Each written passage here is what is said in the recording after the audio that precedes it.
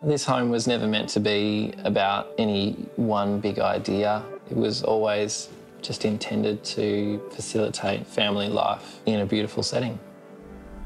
The spaces really are organised around the circulation, and the circulation is what connects the home to the landscape.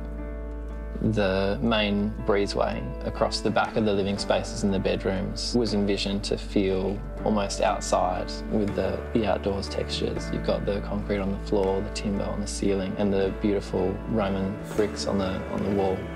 A little bit of level change is employed to create separation between open plan spaces. This also serves to give it some volume to those key spaces. This was a fantastic project to work on. These guys put a lot of trust in us and we were able to work really closely together and realise a vision that was both theirs and ours. And I love it. I think it's a beautiful home.